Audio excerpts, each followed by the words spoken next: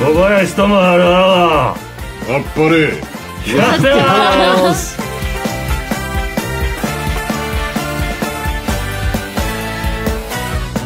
どうも。トランプとバイデン肛門勝つのは誰だ？剣道小林です。えー、タンパク質取るのに温泉卵を作るんですがどうもうまくいきません。アンガールズ山根です。えー神奈川県ラジオネームじゃがいもさんどうも。イボが2つ肛門にできるとガマ口みたいに閉じれます。アンガールズ田中です。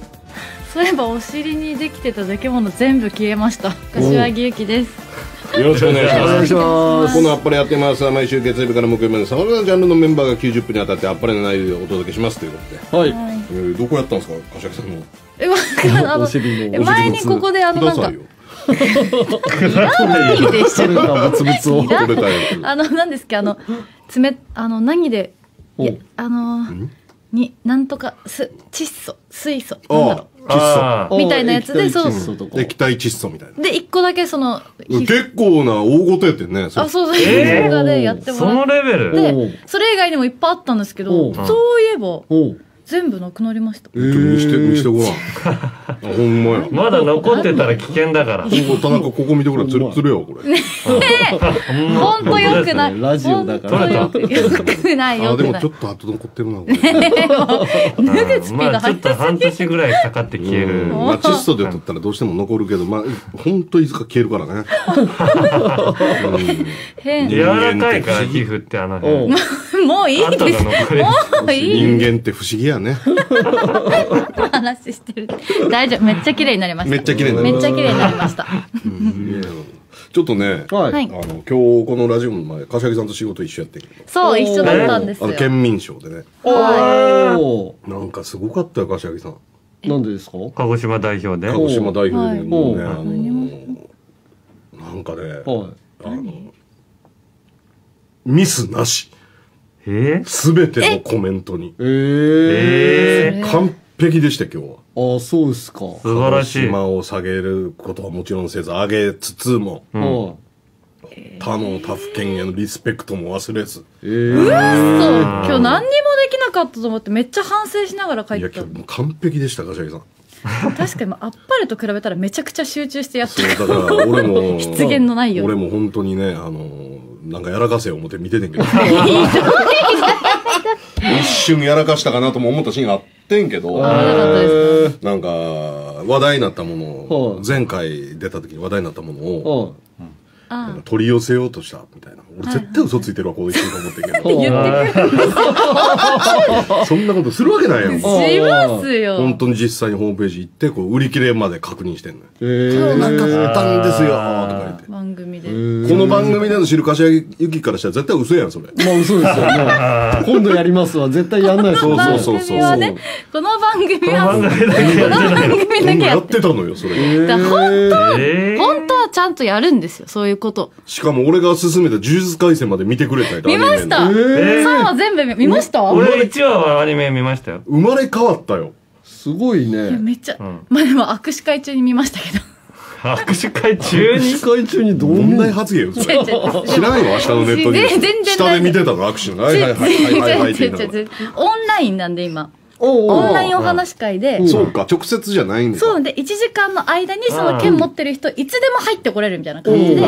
喋ってうん。あの繋いでる時間とか次の人が来るまでうん。なんか5分とか空いたりするんですよ。うん。じゃあその時にちょっと見てまた人があのはファンの人が来ましたみたいになったら止めてうん。喋って。ああそういうことね。そうちゃんと空き時間。みどうなんか急にやる気。握手会だし面白い 急にやるなんか強力なライバルでもあらんから焦ってるんですか私やる気満々タレントじゃん別人になってる最近ちょっと鈴木奈々的な感じになってる絶対かぶってない絶対かぶえーってないセット壊すぐらいまで行くんちゃうかローソンで坂道上がるの、面白かったです人生初大人になって初めてアニメ見ああました。面白いでしょ。めちゃくちゃ面白い。え？2話3話のはい。エンディングテーマ聞いた？いやエンディングは飛ばしちゃいました。エンディング聞いて。俺俺が戸惑うぐらいおしゃれすぎるから。あ確かに入り口おしゃれで。ああオープニングもおしゃれやけどね。エあー。ンディングのおしゃれさ異常やから、えー。1話エンディングないのよ。えーあそうでしたっけ？2話からエンディングあんねんけど。2話かオープニングが俺が汗かくぐらいおしゃれ。どうしようって言うとおしゃれすぎるアニメで。確かにアニメって最近ちょっとおしゃれ最にしますよね。近のアニメおしゃれなのよやっぱね。うん。昔はなんか暗い曲をかけて。暗いそう。アニメのエンディングテープだと暗い曲で最後夕日で黒い影で終わるみたいな。暗いな。ほんま暗かったよバカボンのエンディングなんてバカボンさんの首がね。生首が落ちた。地面に落ちてる。いやいやいや。枯れたバラとバカボンパパの生首が下に落ちてる。意味わかんないでしょ。おしゃれかもしれないでも子まあ供の頃。まあすっごい芸術的やねんけど。枯れたバラと生首やから。子供には理解。もうヘビメタバンドでもせえへんでそれも。枯れたバラと生首は。そうそう。うん。知らなかった最近はもう結構おしゃれに。最近だからその呪術廻戦のあのメインキャラクターたちがうん。踊るのよ。ええええあのインド映画みたいな感いじですか？や違う。もっとこうもっとシャレオツ。じゃああのクラブミュージック。あの、ーちびまる子ちゃんみたいな感じ。いや違う。もっともっとクラブミュージック。え歌われへんの俺は。ももうラップとかやから。ほう。えラップと英語やから。で登場人物がそれに合わせて踊るんですそうえー、なんかイメージわかんないな。昔からねそのパターンはあったけどねグーグーガンモとかでも。あキャラクターが。ーうんテーマソングに合わせて踊るっていうのは。そうかうるせえやつらとかでもありねましたね。そうもうノリが違うのよ。えー、うん。音楽の。渋谷系。えー、ー、え渋田中も敷かれないところ。港区系やったら敷かれない。渋谷系はもうビビって逃げるだけや渋谷は無理渋谷系はもうビビって距離置くだけやしないかかったりするから渋谷あそうなんすか。いや踊りそうにないじゃないですかキャラクターが。でも呪術廻戦って。ね。らうんそうなのよ。それが踊るん。これでがいいのよまた。なんかえー。癖なるというか。えあの先生みたいな人もあ五条悟？五条悟かっこよかった。言うたやろ俺がどうせ五条悟がかっこいいって言い出言ってましたよすね。五条悟がかっこいいやっと今後ぱもとももっとかっこよくなるか。らあの人最強なのよ言うたら。つそうです。強い最強なのですよね。ほんまについて分かってくるからえ普段はチえャランポランしてんのに。確かになんかふわふわ。まだあんまりそういうなんそうそうまだね。か見せつけてない。ですうん見せつけてないだけで。えー。今後見せつけていけよ。えー主人公虎杖でしたっけ主人公。虎杖うん虎杖裕二。そう。指指ちゃ食べちゃう。あ指食べちゃう。そうそうそう、うん。あの辺しかまだでも見てない。確かに田中は自分を投影できるキャラがね美兵みたいなキャラが出てこない美瑛出てこないでしょあれ。俺のあ出中でてくるわ。あ出てきます？え出てくる。ええもうすぐ。あれ、俺ま漫画で三2巻3巻まで2巻かな、うん。2巻まで読んでるんですよ、うん。あ二巻では出てこないかな。漫画ああうん。え運転手の一時さんっていうの出てくるから。店主出てくるんですか？え戦うんメでインキャラじゃな戦う能力がなくて運転手になってるす さすがにそこいや意外と人気あるのよこのキャラが。意外と、えーそうなんですか、うん。おー、えー。アニメはもう次から出るかな4話から。4話から。3話のラストビビったやろ。3話のラスト何でしたっけ？えだからあのもう次の事件の結末のレポートで終わったの、えこれはだからもうオンエアされたからネタバレしてもいいねんけど。あのでしたっけ？1年生3人揃ったでしょ。あそれました。あのうち1人次の事件ではい。死ぬの。よ、えそれ見てない。うち1名死亡って最後出て終わるの。えもうだからそれが終わった後のリポートが先流れんのよ。こう演出で。早くないですか？カチャカチャカチャみたいなね。あの3人の中の誰か？もう死ぬよやだ！やだやろ俺もやだ言うたもん。俺ジャンプで読んだ時にやだって言うたもん。みんなめちゃくちゃ素敵な。そうよ。みんな好き。キャラ立ってんのにさ。キャラ立ってるすでに。あー。え？最後4人で仲良くな。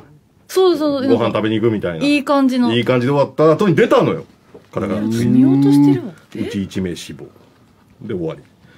えー、悲しい。でも最近の漫画ってうん。結構思い切って殺しますよね。最近の漫画死ぬのよ。うん。なんかうん。メインやっぱどころがね。こうワンピースというすごいあの日本一の漫画があるからさ。うん。なかなか死なないっていうのを逆に売りになってるというか。おー。作者の人がこう死んでうん盛り上げるのが好きじゃないっていう、そういうあれがあるらしいんだけど、まあ死んだら盛り上がるやん、漫画って。まあそうですね。そのワンピースがやっぱこんだけ一時代築いたらもう、そのアンチみたいなとこあるんじゃないの？やっぱもう殺せと。あ重要なキャラほど。あ、なるほどなるほど。キングダムもすぐ死んでたもんな。そうやな。ああ、大きいね。そうだあのな、仲間というか。確かにせえ？あ、せいもね。セールせい、えー、今日。あ今日でした今日。今日ちゃうわ。今日？あのあれね、幼馴染の。幼馴染幼が馴染まああれは、それが物語の始まりっていう感じやから。あ、あの後にですか？だから王毅とか、あ、大きいですね。はい。重要なキャラも結構死ぬ。そうな、死ぬ。ああ、そうそう。あと、あの3人の一人死ぬから。言われたら、それ言われたくないでしょ。いや、言われたくないって、もう、この間のエンディング見てるはずなんです出てんから、ラストシーン。その前で止めちゃったみたいなパソコンの画面でこう、報告書みたいな。ああ、流通専門学校1年生3人が派遣。うち1名死亡で終わってるから。ほんまに死ぬから。嘘だ死にそうな人一人もいないいないでしょ。死ぬのよ、でも。諦めろよ。やだえ絶対やいだや、もう無理でしょ。やだもう死んでんねんかやだら。諦めてくれ。やだこの辺が食いつくの。それでファンがガッと食いつくから。まあ実際確かにそこうでいきなりこうなんか人気爆発した感じだよね。あの連載中。あそこから、ああ、これ面白いってみんななってた感じ。うん。残念やけど、ちょっと死ぬんで。なんだ。今日は早く見たい。うん。辛かったら見るんやめた方がいいよ。今やめないですよ。一応見たい。なかなかこんなね、ハマってることないもんえね。ないですないです。アニメ初めて。アニメ。生まれ変わってんのこれ。柏木さん、どう、なんか、大丈夫？マジで、マジでさ、このマイクの。んでるとかそんなマイクマイクのあたりから。輪っかぐらいからおかしいと思うんだけど、中身入れ替わってないよね。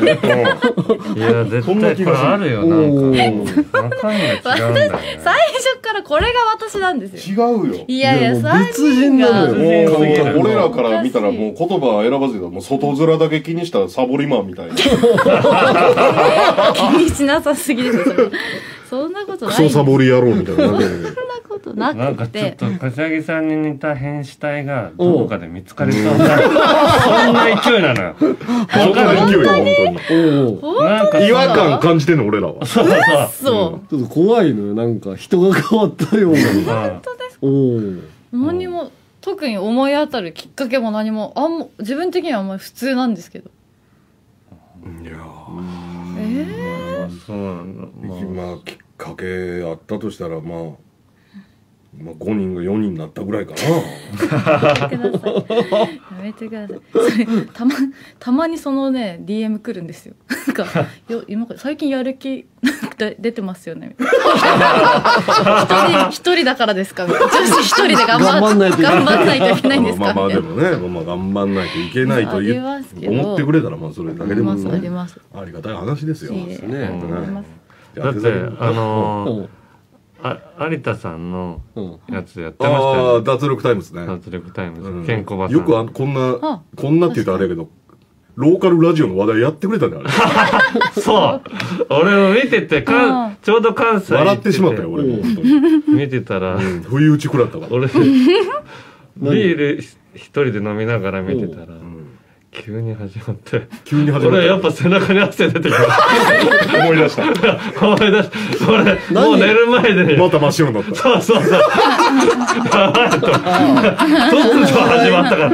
そんなフックが一切なかったんですよ。なかったね。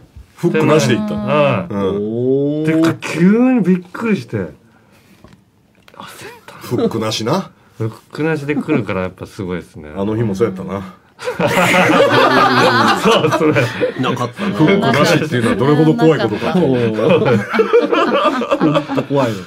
いやくりしました。びっくりしたね。はいじゃあ、宛先の方お願いします。はい。はい。あっぱれやってます水曜日では私たち出演者へのメッセージや各コーナーへのお便り、そして私柏木由紀に生放送中にチャレンジしてほしいことを募集します。頭を使ったチャレンジ、体を使ったチャレンジ、特技を披露するチャレンジ、何でも構いません。この後ゆきの生チャレのコーナーで実際にチャレンジしたいと思います。はがきは郵便番号 530-8304MBS ラジオあっぱれやってます水曜日。メールはやるすいアットマーク MBS1179.com まで。はい。じゃあ曲の方いきますか。はいこれ AKB 大先生ですか？AKB の曲をはい。お届けします AKB48 で大声ダイヤモンド剣道小林が AM1179、FM906、MBS ラジオからあっぱれやってます。お便りやってますはいこのコーナーはボックスから引いたリスナーからのお便りでおしゃべりするコーナーです。梶上さんお願いします。はい。え？え痛がるようなことあった言って。このこの箱の気持ちの文字言ってましたえっと栃木市ラジオネームジャングルの王者たーちゃんさんからいただきました、やるしんの皆さんこんばんは。こんばんは。先日ニュースにて「鬼滅の刃無限列車編」が観客動員数が初登場首位を独占しおー3日間で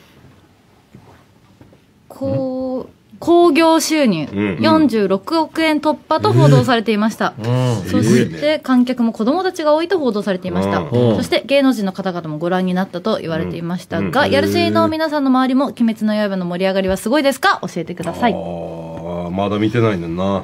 うん僕一つも見てないからなん全然わかんないです。ああ、そう。はい。私もそうなんですよ。あそう。まず全く分かって先に鬼滅見るよね普通。呪術廻戦の前に。いやでも呪術廻戦が鬼滅の刃に続くかもしれない、うんあーなるほど思うよ、多分。見ておいた方がだから先に。もう鬼滅の刃やっぱ今からマウント取れるよ、今見てたそうですよね。って言ってたから見始めた。ん。ですよ、マウントのためっていう。強いん鬼滅のだ刃はだって今更な感じあんじゃん追いつけないかなって思っちゃう、今更。だけどまあ面白いのはだから確実じゃない、まあまあね確かになんか見て損がないから。だからアニメの第一シーズンなんか本当原作のほんまに序盤なのよ。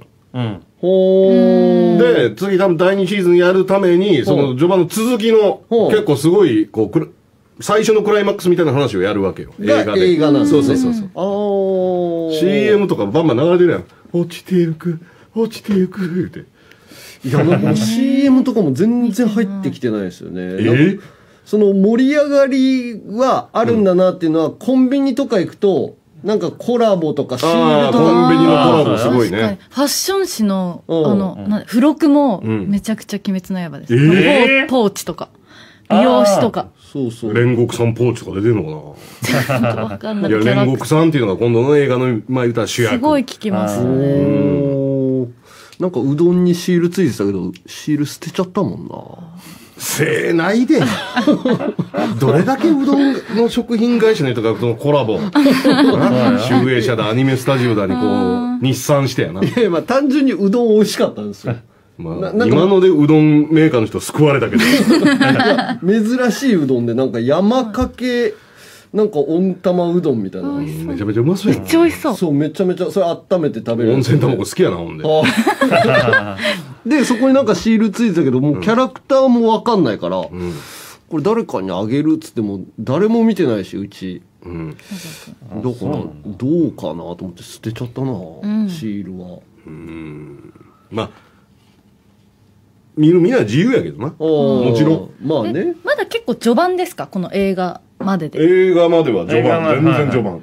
ああまだかなり続きそうな感じなんですか？かなり続くよ。ええそうなんだ序盤のクライマックスやね。映画でやるとこが。ああ落ちていく。落ちていくって言って。どそれ見たことないから見見たことないんですけど嘘やろえなえ？それセリフですか？落ちていく。落ちていく。誰が言ってるんですか？言ってんねん。女子？電車の上で言ってんねん。電車の上で。あ列車のなんちゃらだからだそうそうそう。落ちていく。落ちていく。なんで見てないねん、これ。今見れるアニメはいのラストがその列車に乗るところだよ列車に乗るとこで。そううん終わっアニメが終わ列車にってる煉獄さんっていう人が列車に乗って、はそうやってーって終わったの。ああそうそうそうそう。うーんそれがアニメの終わり。アニメの終わり。ほんで映画になっ映たら、画だった。ら 何があったの？落ちていくのよ。落ちていく落ち ていくねん、映画は。そうなんだ。落ちていくのよ。うん。今回の敵は。はでもケンコバさんって「鬼滅の刃」当然のことながら見てるのめちゃめちゃ早いですね。俺なんかの俺だってジャンプで見てるからな。そうですよね。アメトークかなんかでう「うん鬼滅の刃」みたいな言葉言ったんですよなんか、うん。な、まあ、呼吸的なボケかな。なんだったっけな、うん。鬼滅の、あ、なんか、うん。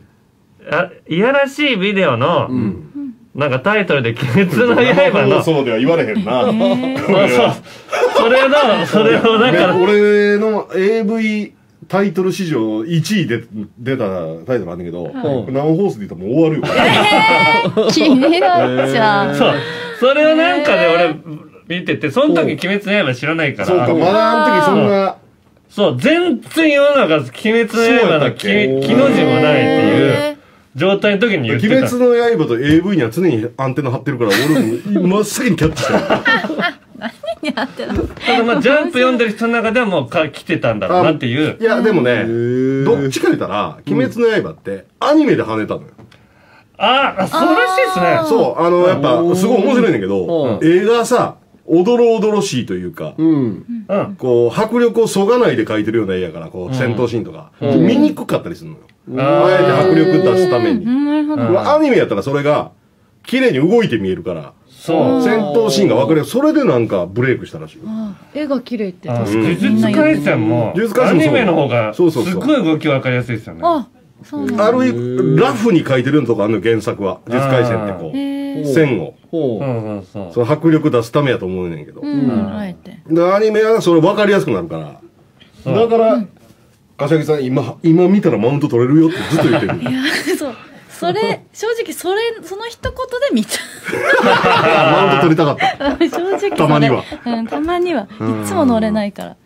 あもう近々ご自身の SNS でコスプレとかやり出すと思うよ。ー多分、一番乗りでやろ鬼滅の刃における、うん。あの、鬼奴さん的なポジションにいってると思う。そうそうそう。鬼滅の刃といえば、もというえばなんかテレビでほう鬼滅の刃扱うときはゲスト鬼奴って決まってんのよ。え芸能界一鬼滅の刃にハマってる女として。すごい。そうそうそう。全然知らないな。いけるな。だってまだアニメ3話ですから。まだ3話やからね。で今のうち SNS で吠えまくってたら、確かに、まだ言って、今、初めてここで今日出しました。ちょっともうツイッターとかで吠えまくっといて。今、呪術廻戦も。うん。やばい。やばいうち一目死亡らしいって言って。やだ。やだー3人のうち1人死ぬのやだって言って。3人と大好きなのにって。もうなんか、オファー来るよ。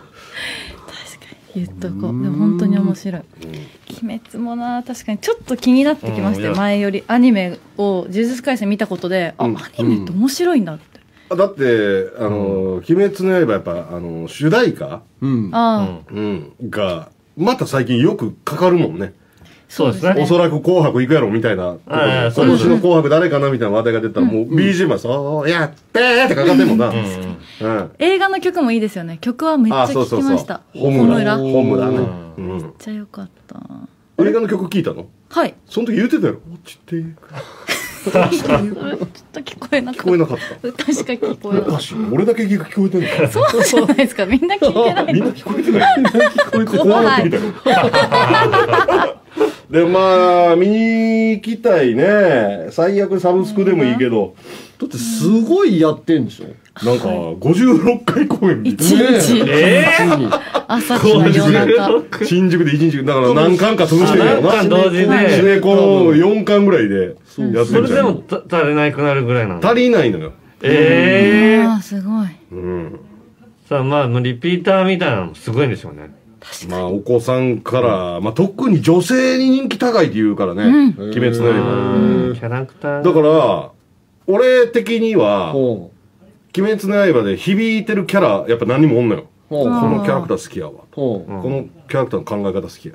ううん俺がこのキャラクターの考え方が同じ舞台にいたらぶん殴るって思うやつが、女性人気ナンバーワンなのよ。へーええうんあ、そうなんですやっぱ、やっぱ少年の目で見るのと少女の目で見るのは違うんやろな。うーん。あそれは確かに。あ、確かに。な、泣くのよ、すぐ。え？泣くやつおんねん一人。泣くの？泣いて隠れて逃げて。ああ、あいつですか？善逸ってやつや。善逸、はいはいはい。黄色い、そう。あの、ドテあれ女性人気ナンバーワンで、実際えー？グッズとかでめちゃくちゃ売れんのよ。俺ちょっと嫌なんですよね。俺もやねうるさいんですよ。うるさいしね。アニメの中で。うるさいねもうちょっと、うん。あの、静かにしといてくれっていう時に、うんすごいさす、ぐ鳥と騒ぐからな。そううんただそれが聞いて黙った瞬間に、うん。そう。かっこよくなるのかっこよくなるのよ。もちろんね。うん。いや、それはわかるんですけど、いや、一番人気よ。女性に。かちょっと可愛いらしいみたいな。そうそうそう。俺は同じ舞台にいたらぶん殴ってるけどね。敵を前にして震えて泣き出してるやつをもう邪魔や。帰れ。そうそう、四季に関わる。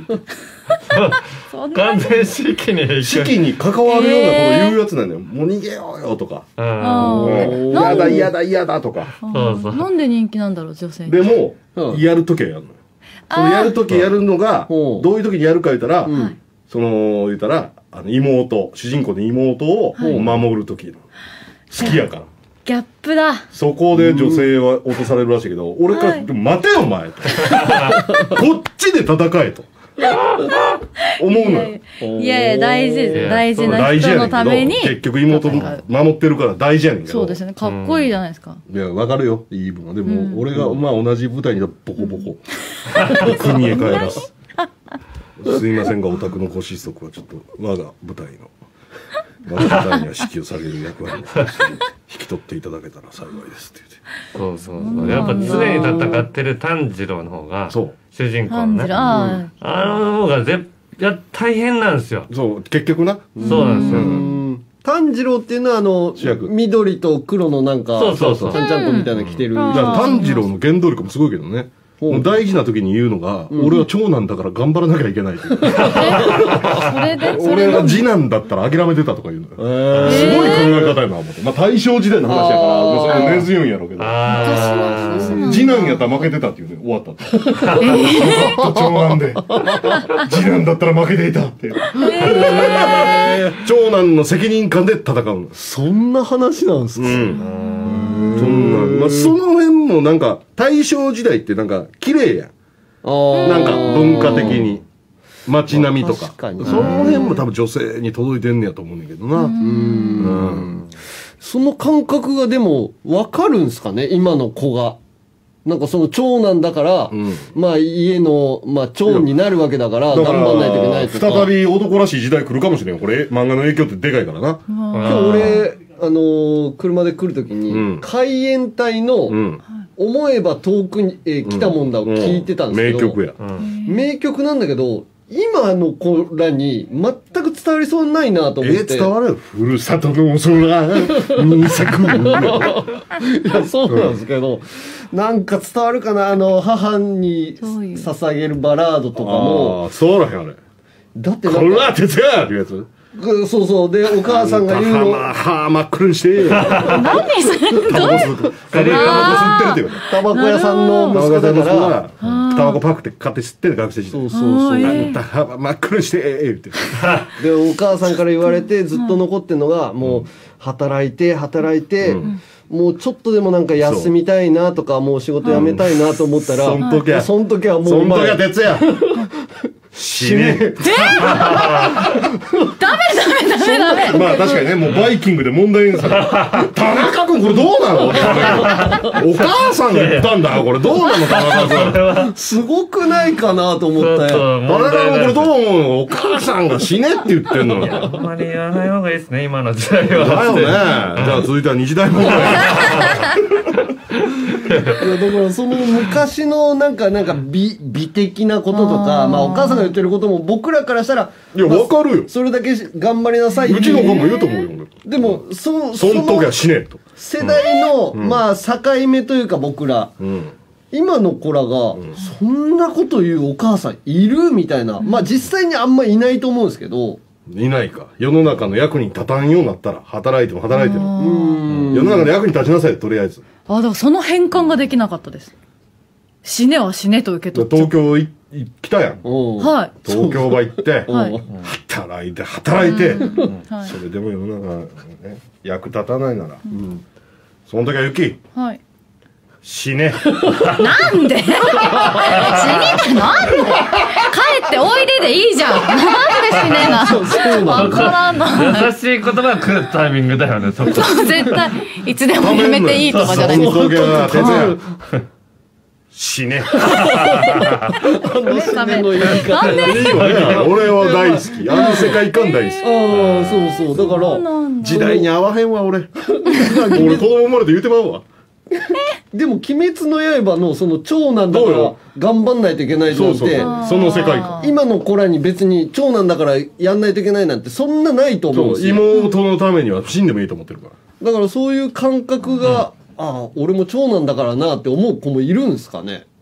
いやだから「鬼滅の刃」でまたそういう時代武田鉄矢時代来るかもしれない。来るかな。何十年を経て。来てほしいななんかちょっと、んうんそれすごい感じたなだから坂上さんとかも見逃してほしいな。哲也のお母さんがいややらないですよ今。そんな昔俺の。どう思う歌川君。昔のすごいのよ。曲を折り返しすぎてるんじゃないおですか、ね、父さんがお父さんが、あのあの時酔っ払って帰ってきてなかったらお前は生まれてなかったからそっちの方が良かったみたいな曲そうよいう曲なの あん時もう父さんがもう酔っ払って「あああんたなんか生まなきゃよかった」みたいな。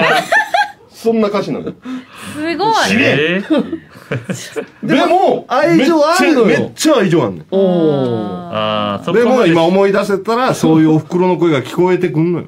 そうそうそう僕に人生教えてくれた優しいお袋っていう紙面ね。うん。ああなるほど今となっては理解できるみたいなことですか？理解できるというかこう優しさに大人になってから気づいたと。あ優しかってんなうちのお袋はと。あうん。反抗してたけどね。なるほど。あなるほど。ちゃんと最後まで聞かないととんでもない曲になっちゃそうう今のとこだけいやでもそのオチなくてもなんかいい世界やなって思うよ俺。えうん。お母さんからのメッセージも別に死ねっつってその直に本当に死ねって言ってるわけじゃないうん感じが伝わるから。そん時や死ね。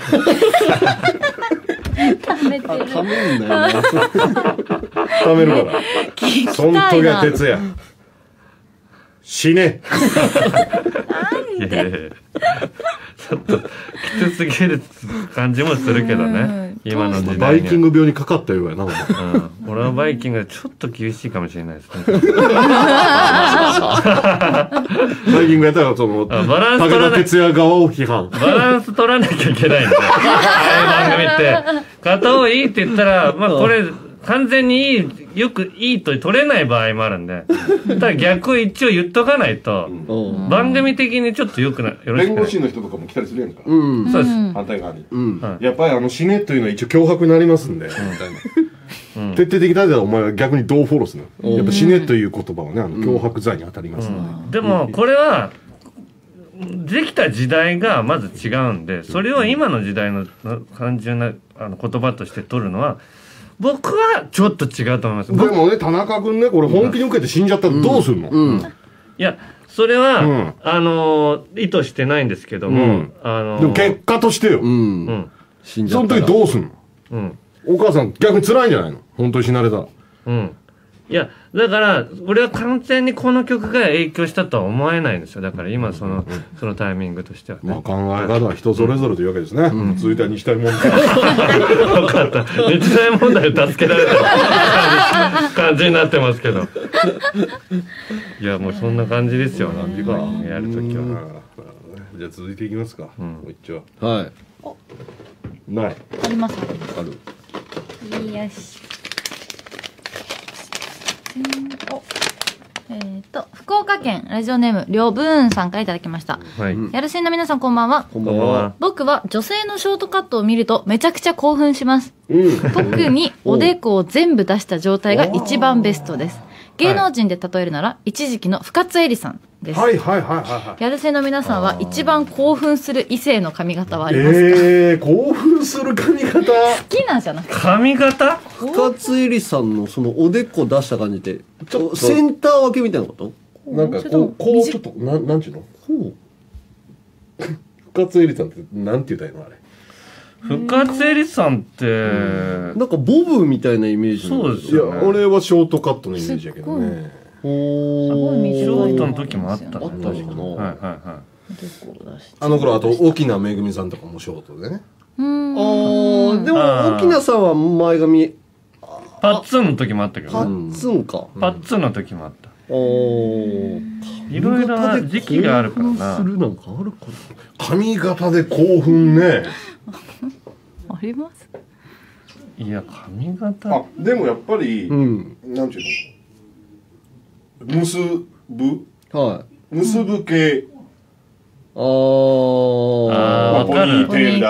ちょっとだから自分ではやらないから絶対。うん、女の人しかねありえないというか。そうそうポニーテールだから作業する時片っぽに縛ったりするやんか。あ横の下の方に。そうそうそう。確かに。簡単に。あちょっと興奮する。ポニーテールとかうん走ったら左右に綺麗に揺れるじゃないですか。右左右左。あれ結構見ちゃうんですよね。あ右左って綺麗にこう右左右左ってなる。あとあのあれ中学生ぐらいの時にはい。多分ポニーテールに憧れてんねやろなっていう女の子がはい。ギリギリできてる時に。ちょんという。あ可愛いと思った記憶ある。ああーもっとバッサリしドバッとしたんやろな。でも確かに。目標で伸ばしたけど全然届かへんねんけど、うん。ギリギリできるからやってみたっていう時可愛いと思った記憶ね。部活とかでちょっと短めにしとかないといけない子とかがそういうのあったかな、ん。やってたな。まあでもそそれが興奮かと言われればな。あさあ。え？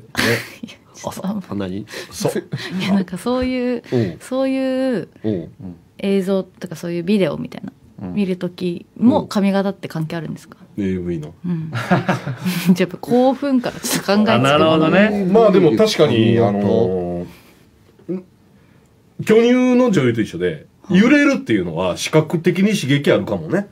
そういう意味では長い髪とかが揺れているっていうのは男はだって揺れると見るって言いますよね。そのスカートとかも。イヤリングとかも。イヤリングとか実際に巨乳なんか別に好きじゃないっていう人も、AV は巨乳の方が面白いっていう人も多いしね。やっぱ揺れるのが視覚効果で。そうそうそうそうそう。へえそうそう。もう VR とかだって、うん。ここに来たらもう本当に ここに来てる感じすんのよ。わかる？あとロンロングだともう目にこ、目目閉じちゃうぐらい、えわわってこうなる、うんあうわあ、騎乗位や。え？騎乗位的な時に。騎乗位の時にこう覆いかぶさってきたら、うん目に髪の毛入ってこうやってこうやってこう受えー。けちゃう、実際の騎乗位で女の子の髪の毛鼻入ってくしゃみ出たことあるけどね。いやふがふがふが、ふがふがなってきて。セクションだったら。何してんのってなる。でしょムードが冷めるくらいムード台無し。うん。まあでも視覚効果あるよな。ああ揺れる。揺れる。難しいですよね髪型。うんショート好きな人も多いしね。まあ俺は別にどっちも好きやねんけど。そうですねうんロングとショートどっち好きって言われたら、はい聞かれた人の髪型答えると思うわ、多分。そどっちでも好きやから。ああショート気味の人が聞いてきたらショートが好きって言うかもね。えうんー、えうん。ー、やだ好かれたい。うんややだえ嘘つきじゃないですか。いや、だって両方好きやねいいいいんだもん。えじゃあど何でもいいよでよくない何でもいい。よやったら相手、まあ、ご機嫌取ってんねや。うん。嫌な人。えだってどう柏木さんははい。ロング似合ってるって言われた方がよくない？いやそれは嬉しいですよ、でもで俺ロン次グの方が好きよ。嬉しい。でもそれ隣の人にショートだったらショートいい俺ショートの方が好き。嘘つきじゃん最低ってなっちゃうやっぱり。いや、勝ち合わさへんよ。そんな。ダ ダブルでは言わダブないルはやんない、うん。そうか。まあ、機嫌良くなってもらう方がいいや、会話してる相手まあまあ確かに、うん、髪難しい。だショート3年ぐらい前にめちゃくちゃ短くえ？初めて。したっけ？しましたよ。超短くしました。首全部3見える。年やったら合ってるよね。え合ってます。ここ来てますよ。してないよ。嘘つき、最低。ちょ嘘つき見てない私のこと。ショートショーっと待て。彼女か。もう私のこと全然見てない。ト 違った。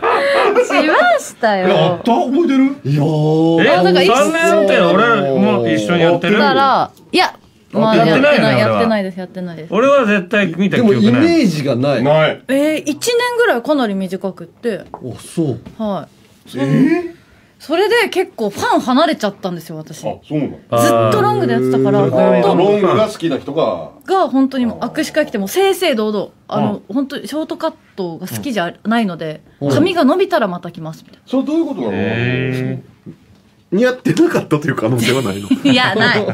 そういうその人の似合好み。って似合ってはいた。めちゃくちゃ似合ってー。ショートって結構めちゃくちゃ似合って難しいっていうじゃん。そういうだからねロングのよりもちょっとすっごい美人な人がショートってやるってなんか難しそうだね。あだってほらショートカットで浮かぶ人って美あ、の人多いやん。まあ言ったら内田有紀さんとか。ああそうなん吉瀬美智子さんとかさ。ああ。渡瀬うん。渡瀬真希さんだったっけ？リンドバーグの人がバーグのね。それこそさっき名前出た深深津絵里さんとか。あ美人ばっかりやもんね。まあまあまあまあ。だからずっとショートでやってる人はもう本物ですよ。うんだからやっぱ中学校の時に勝負かけとくべきやでなショートで行くなら。一回。もう違和感ないやん中学からやってたら。確かに。うん。イメージがつくとやっぱ変わるときっと。でも俺が女の子やと伸ばすけどね。なんか特権みたいな気するやん。ああ確かに今はそう思います。ね。うん。やっぱ男の人ってな伸ばしてる人おるけどなかなかね周りからもギャーギャー言われること多いやろうし。伸ばしてたら。おかんとかああいい皆さん切らない時は死ね！って言うのなんで？ああそうか。家庭さんの時ショートやったんだよえ？全員えああれいましたあれ？じゃあえ全員覚えてちょっと見て思い出してくださいよ。いやいや俺らがいたかどうかも覚えてなかった。そうだ。ミイラ取りがミイラ。あ本当だ。どほらめっちゃ短くしてますよ。ョートっていうか。ああショートというか安藤安藤なっちゃんみたいな。ああまあこれ今でも安伸び伸びかけぐらい。ぐらいの髪型やね。わかりやすいな。そうですね。あれはショートショートなのか？ショートであれ、まあ、ちょっと伸びかけてもっとみ最初の切り立ては短かったですけど。そうか。ボボブ？まあボブに近かったかもですかね、ボブってショートなの？ショートボブって言うもんなだってなそういえば。まあショートより。よりか。よりですけど。あめっちゃあれ男やってだいぶ長いからね。あんなの。ああもうロンあんなのってロン毛の域やから。そう確か宮四郎さんみたいな。山根とかな昔。ああ僕とか。昔山根ボブやった。か らおしゃれ。ボブだこいつボブやったから ボブかそうなそうか。そう思うと男性は髪でごまかし聞かないですね。かしいでお前。男でボブって。やってたもんな。いやいやまあそうですね。ボブだったな。どういうつもりで美容室行ってボブにしてください言ってておいやあのね最初はもう切るのめんどくさくて前うん。まあ金もないし。もう金もないしもうそのまま伸ばしてて自分でもうハサミ入れて切ってたんですけど、まあビートルズとかもそんな感じだよなと思いながらやってて、で一時期は木村カエラちゃん見て自分で前髪切ってみたりとかう同じようにやってみたりとかやってたんですけどやっぱり奥さんに気持ち悪いからやめてって言われてそうやな。そっからやめましたよね。まあ逆に田中のおかっぱもどういうつもりなんて今やったら言うけどな。あちょっと昔やってましたよちょっとでもよく思われれたかっていうのはおかっぱしてたって。いやまあ若かったねハゲがうんもうちょっとだけ進行してなかったんで、うんあの一応前をこう大埋める。変だじゃんお前癖っ気であんなサラサラにすんの？はいはいうん。いやそうなんです。だから前をきっちりなんとか埋まってたんですよ、うん。うん。たらハゲてきて あの埋めてたら収録中に穴が開くようになったんですよ、割れ目がね。あ動いた。い。それからもう、あもうハゲを認めるしかない。な。諦めの方に行って、じゃあもうそっちを出していく。でも偉いって言ってたよ。なんでですか？いや一番偉いのは斎藤さんや言ってたけど小峠が「俺は逃げたんです」と「ハゲというレースから降りたんです」と。ああもうスキンヘッドで。スキンヘッドのやつも逃げ逃げでしかないって言ってた。ああ、小峠やっぱそれちゃんと分かってるんだ、自分で。うん。さすがだな、あいつは。自分で珍しく世代の近い芸人を褒めるな。世代の近い芸人人は全員ディスってると思ってたよ。いや、小峠はだから逃げてるなと思ってたけど、どうあいつはだから自分で言うてんのよ。俺は逃げですと。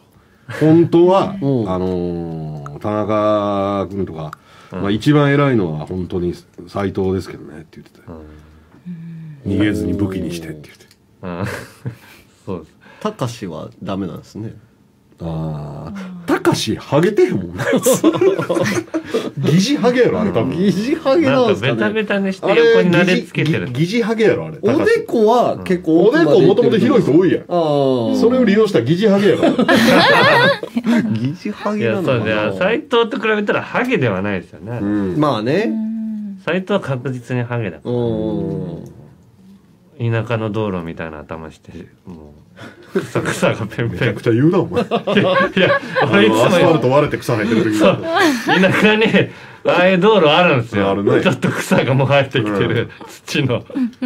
生命の強さ感じる時ね命ってすげえな見るたびに実家の方を思い出す。斎藤の頭を見るな何やったっけテーマ。あ 好きな髪型？好きな髪型でした。結局斎藤の話ではいということでこのコーナーでは僕たちにおしゃべりしてほしいお便りを募集しています。宛先を柏木さんお願いします。はい、この子、違う。はがきは、ゆ 山根さんのとこ読んじゃいます。はがきは、郵便番号530-8304、MBS ラジオアップレてます。水曜日、メールは、やるすいアットマーク、MBS1179.com、お便りやってますの係まで、たくさんのお便りお待ちしています。以上お便りやってますでしたはい。じゃあここでね石原さんが動きましたよ。え一曲聴いてください。海援隊で母に捧げるバラード。あら？人間働いて働いて働き抜いてもう遊びたいとか休みたいとか思うたら一度でも思うたらはよ死ね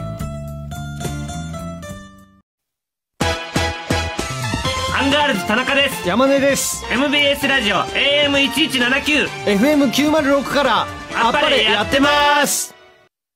さてメールの方が届いております。はい。はい。こちら。東京都赤穂市用はい。あっぱれ水曜日の皆さんこんばんは。こんばんは。先日生配信が100回を突破した山根パパチャンネルですがはい。それから動画が新しい動画が公開されていないようです。はい。山根さんこれね何か理由があるのでしょうか？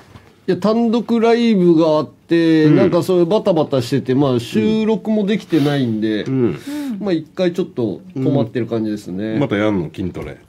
また筋トレも筋トレ自体はやってるんですけど家で、うん。その配信せずに、うん。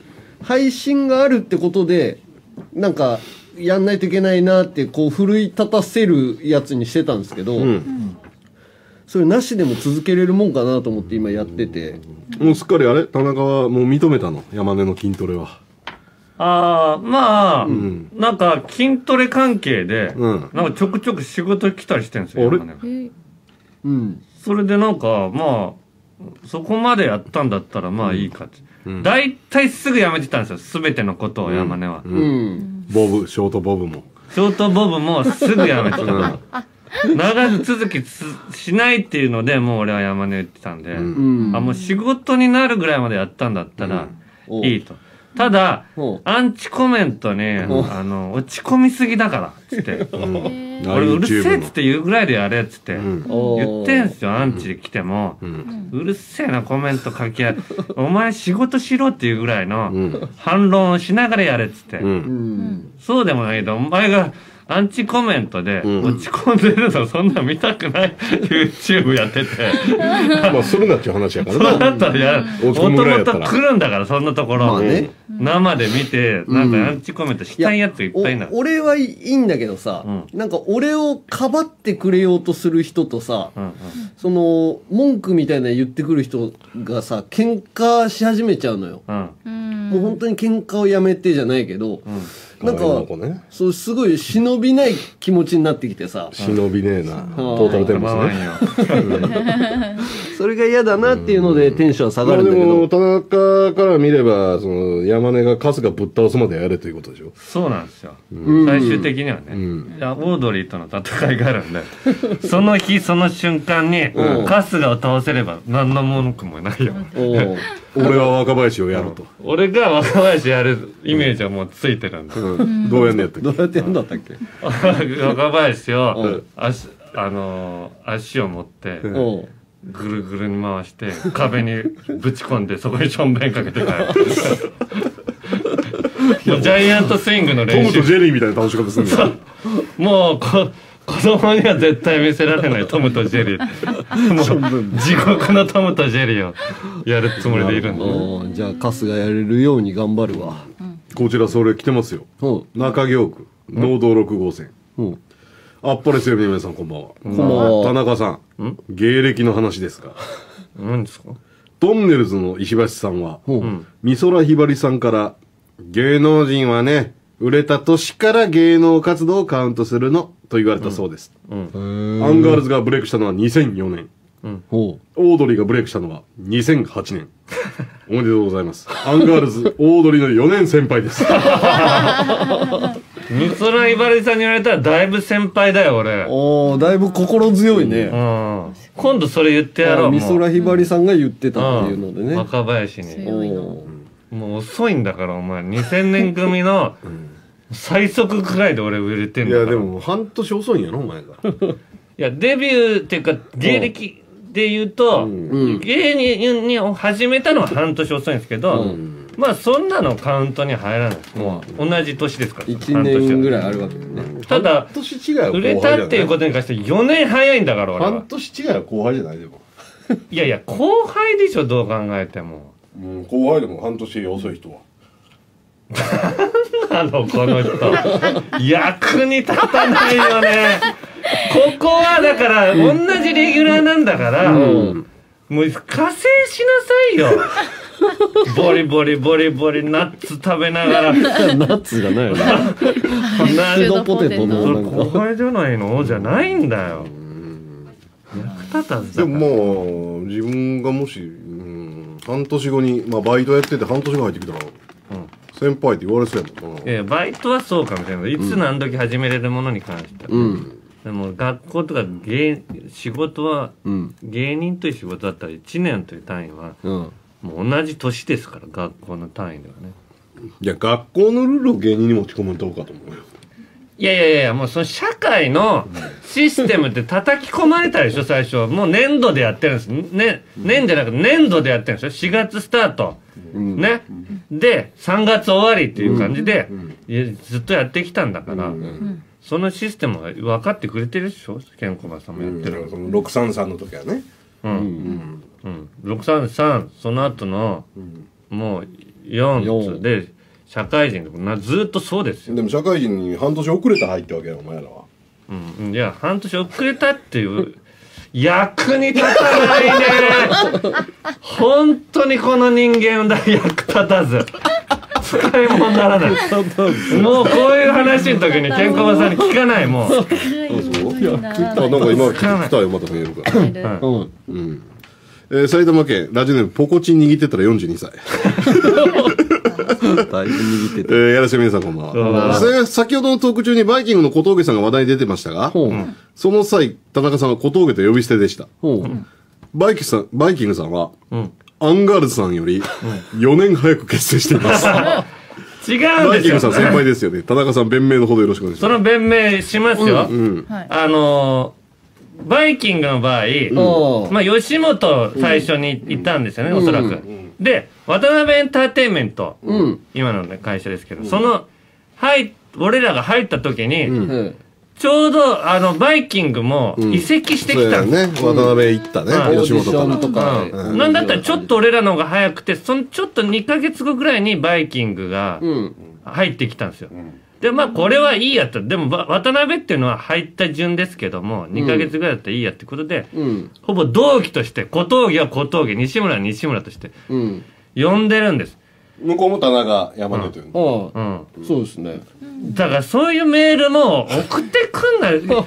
ポコチン握った40歳役立たずだな。そう、役立たんよ。42歳までポコチン握ったまま。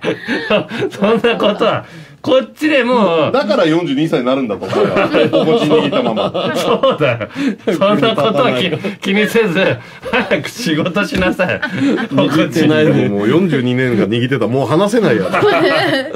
もう話せ。お前一回。話したら見えてくるものあるから。話したら行くんちゃう？ずーっとビューって出ると思うから42年間握りっぱなしやったら。えそれは。外気で外気に興奮するんちゃう？だったら早く話した方がいい。出した方がいい。出した方がいい。出てくるんだったら、なんかハンガーズの芸歴というかなんかそのねややこしい話ですよ、なんかお手紙をいただいてます。えお手紙。珍しい、うん。手紙。珍しい。えー、ちゃんと住所書いて送ってきたんだ。はい。剣道小林。えー、じゃああっぱれやってまーす水曜日。はい。ケンドーコバヤシ様アンガールズ様柏木由紀様こんばんは。うわあえー、先般ジンタンについてお話しいただきありがとうございます。はい。思わずツイートしました。ツイッター担当です。あジンタンか。あすごい。藤田ジンタン株式会社さんから。うん。えー、えー盛大な前振りを頂戴いたしましたので、ここぞとばかりにお送りさせていただきます。特に私の推しはジンタンでもなく、花のど、テンチャーメでもなく、ほジンタンパズーです。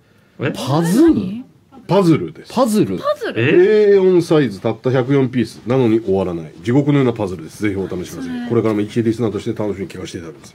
皆様ますますのご活躍をお願いします。何いっぱい来てるどういう？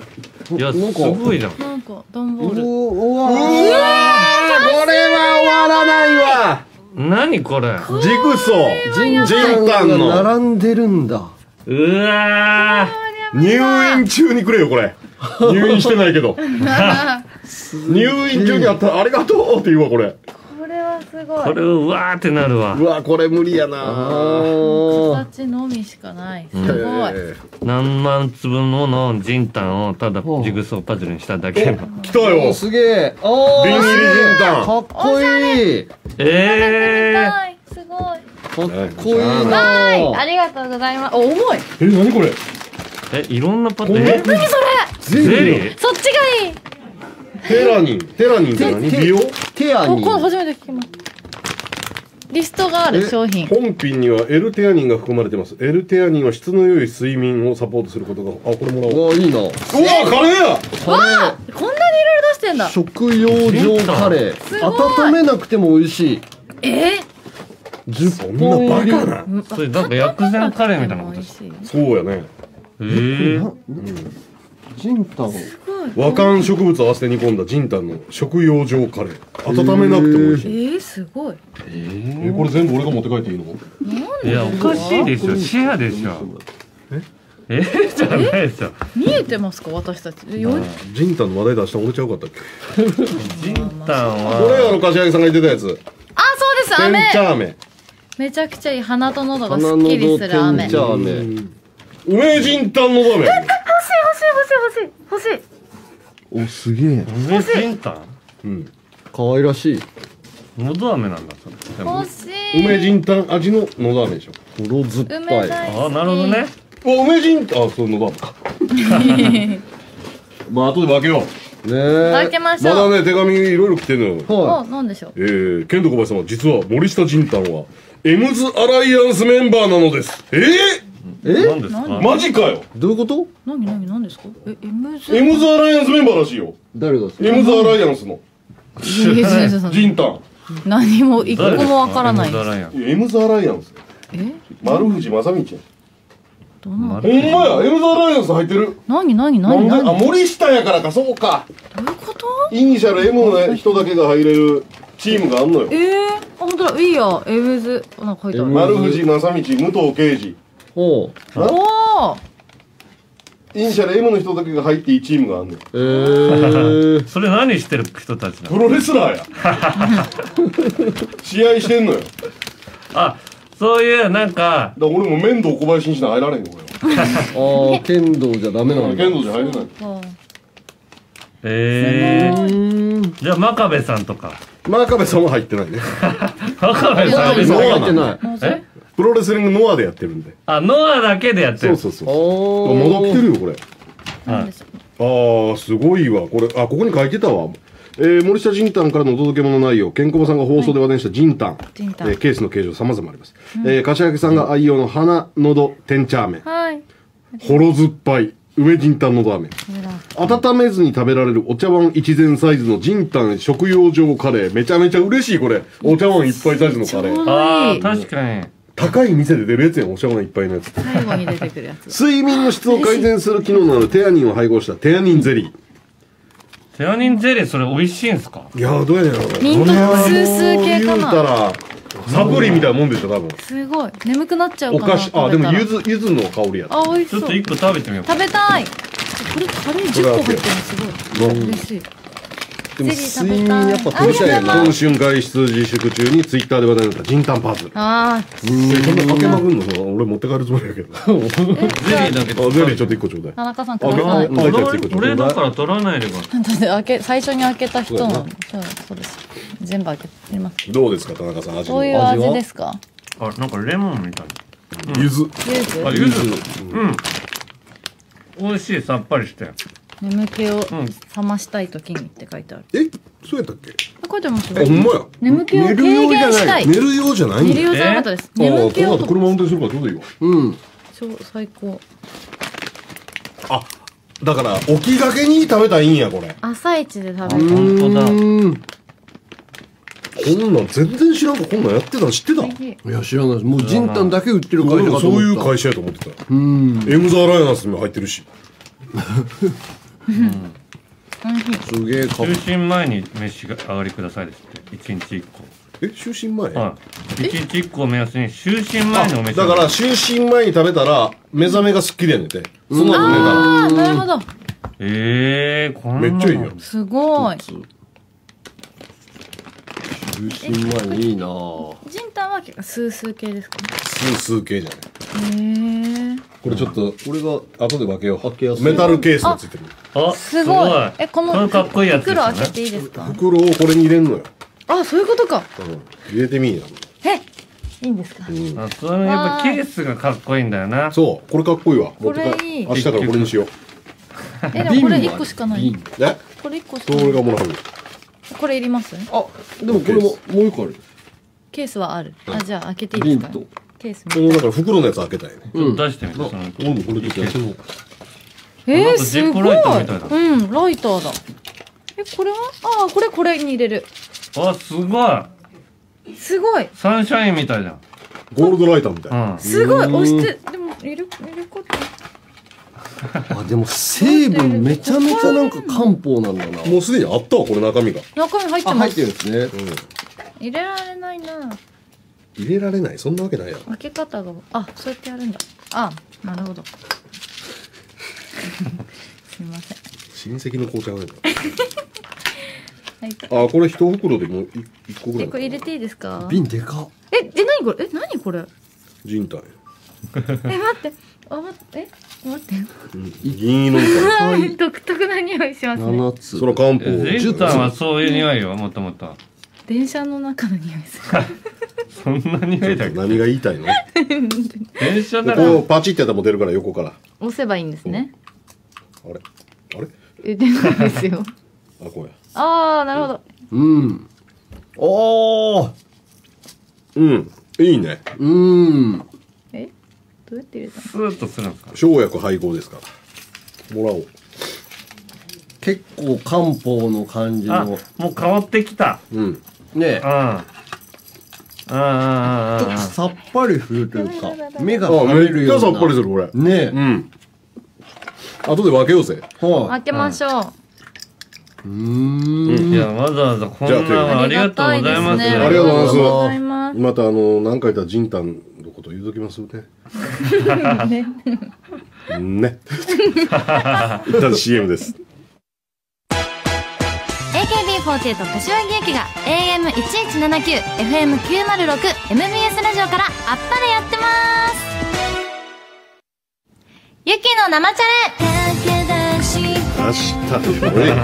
ね はい、このコーナーは私柏木由紀がアイドルとして大きく羽ばたくためにリスナーの皆さんからやってほしいことを募集しこのあっぱれ水曜日の生放送中に実際にチャレンジしてしまおうというコーナーです。はい5回成功すると男性陣の中から1人を指名してゆきりんが喜ぶであろうものを買ってきてもらいます。しかし5回チャレンジに失敗するとアンガールズ田中提案のコウメ太夫のネタを完コピしてもらいます、えー現在は成功が2回失敗が3回です、あやばいやばい、えー成功の方が少ないね。少ない頑張りはいます。。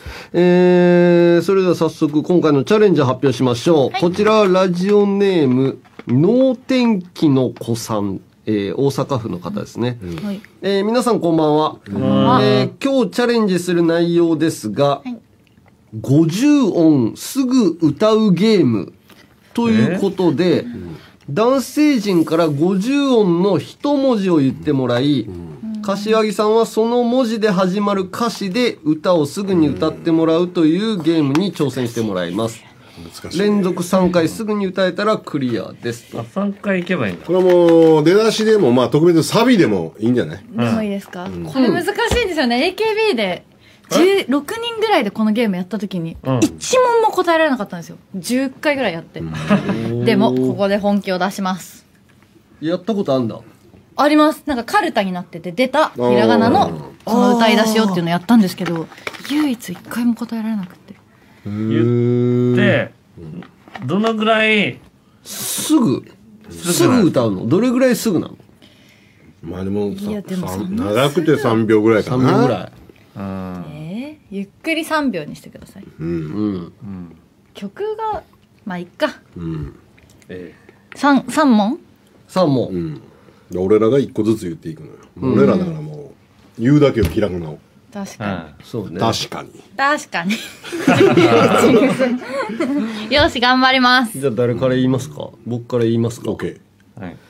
えー、じゃあね、森下仁太の「も」1 2 終了。なんなのもうなんかやることあるやんはい、何がありますかいやいっぱいあるよすもういい靴ねほらとかもしも君じゃなきゃって吉田栄作さんの歌。だ全然。もう一度だけ夜もうあれはモーニング娘。もあすごい。山ほどあるやん。やばい。え、わか、あ、ちょっと対決にしませんか？は？いやいやもう。いやユキの生チャレや。そうなんですけど。大体が決まった。負け次、は決まったけどまあ次、次行こうか？俺が行こうか？で、3人の中で、私が最初にうん。言えたら、ああじゃあ山根田中柏木さんの中で。私が柏木さんが最初に言うん。欲しい。勝ちにしてほしい。それだもう連勝しかないで。うん。それは2連勝。二連勝オッケーです。ありがとうございます。じゃあ行くよ。はい。ゲゲゲはい。のゲ山根の勝大人げない。いやいやいや。こっちのセリフ。自分で条件出してきたんですよ。これ、これ苦手すぎえる。ー。これダメなんだ。じゃあ10秒。え、10秒くれ俺が言って。はい。最後。全部これはもうお願名誉挽回のためにやるだけ。やるだけ？負けは負け。せめて、負けはせめて1回は歌いたい。お願いします。じゃあそ。そ。う、そう、ん。そうま、そうめ、そう、にそうだ。嬉しいんだ。生きるよまあまあそうギリギリ OK 危ない。10秒ギリギリで。苦手だこれ。なはいということでチャレンジは失敗だな。も探してあるやろ。ない、うんない。絶の対あるよ。ない。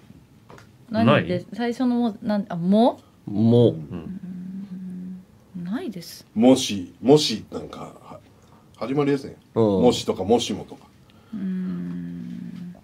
わかりませもうん一度ともっととか。かもっととか。もっと。うんないと思います。ないと思う。なんで関西弁だよないと思います。もっともう一度、うんないと思います。ないか。ないかな。るほどねはいということでチャレンジは失敗です。あやばい。やばい。これで成功が2回失敗が4回になりました。やばい罰ゲームリーチになっております。以上ゆきの生チャレでした。君のワンピースが春風剣道小林が AM1179FM906MBS ラジオからあっぱれやってます。さてエンディングでございますということで、えー、なんかお知らせの方は？まあないです。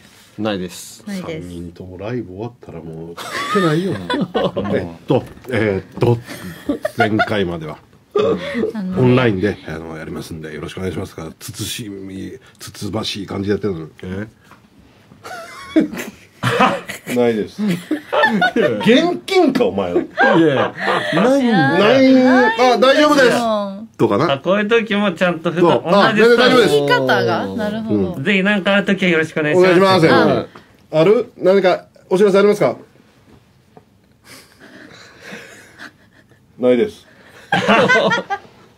ただでさえエンディング恐怖症やねこのラジオ。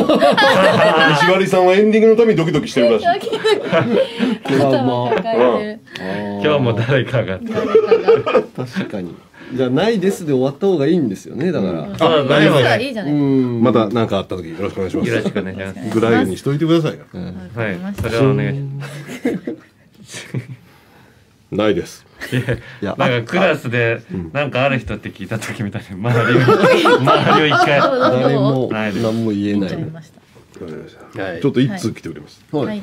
えー堺市ディスコスター。全員こんばんは。こんばんは。あ生まれ変わった柏木さんも見てるアニメ「呪術廻戦」ですが、あっぱれ火曜日のレギュラーである内田悠馬さんが伏黒めぐみの声優を担当しています。え？伏黒めぐみってあのどの人どの人？黒髪の。あの、三人の中の落ち着いてる人？そうそうそう、あのクールな。あ。払いますよっていうやつ。ああ、かっこいい人だ。あのかっこいいイケメン。イケメン。あうんの人もいええる。ー、そうなのあっぱれメンバーですここは「鬼滅の刃」ぐらい人気が出る前にあっぱれ火曜日にメッセージを送って内田山さんに取り入れましょう柏木さん近い将来完璧にマウント取れます。ここで言っちゃったらもう無理じゃないです伏黒めぐみねこれがまたかっこいいキャラなのよ。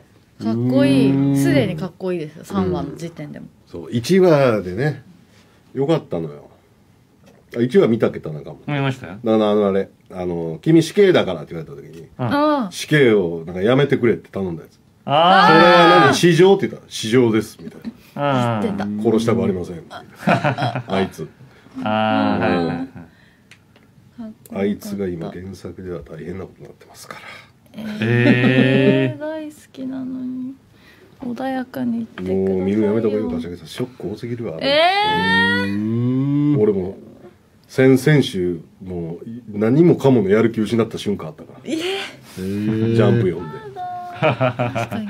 漫画読んでる人それよく言いますもんね。もう一週間マジでそういう時あやる気なかった。りますよね。へー。えー怖いな。もうなんかたまたまなかったけどさはあの1週間のうちになんか訪問販売とか来たら殴ってたかもしれない。い そんなに。うん。へえ内田さん。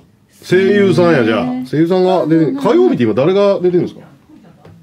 アインシュタイかンとクッキーと。とえ？AKB のメンバーが出てます。AKB の誰？小栗ゆいゆいああめっちゃ可愛くやんか。あそうです。あじゃあトレードか。小栗ゆいちゃんと柏木由紀？ちょっと？どういう意図でですか？いやだだって声優さんがいらっ取り入しゃるれた方が内田さんに、いい取り入った方がいい。で私がまあ火曜日に行ってみてもっていうのは分かるんですけど、うんそのめっちゃ可愛い子って言った後にトレードかって言いましたよね。確実に言いましたよね。違う勘違いめっちゃ可愛いって言ったのが柏木さんにかかってるんですよ。そうそうそう。主語。うん。柏木由紀ってめっちゃ可愛いよな。うんそんなバカじゃないですか。それはそうかとならないですよ。絶対ゆいゆいだ。絶対、絶対嫌です。絶対私は。絶対ここにい一たいの。生水曜日に居座る。絶対に変わらない。居座り続ける。そんなにいいもんかね絶対に変わらない。決めた。決めましたはい、もう絶対座ります。いやね柏木さん可愛いよねああ可愛いですようんそうねだからトレードってえーなんか、そんな、変ないじりながらのやめてください。もう、みんなひどいんだいやそんから。なことないですよ本当に優しくしてくださいよ。いやや優しくしたいけど、もうなんか、はい。綺麗すぎて緊張してできないみたいな、逆にね。もうみんな役立たず。もう本当に嫌だ。仲良くやりましょう。わかりました。失礼しました。じゃあ、ということで、えー、来週はね、全員揃うんでしょうかということで。毎週。また来週。さよなら。さよなら